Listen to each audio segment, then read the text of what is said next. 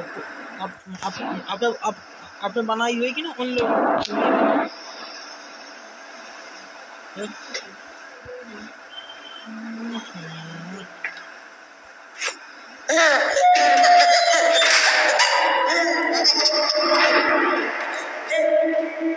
लोग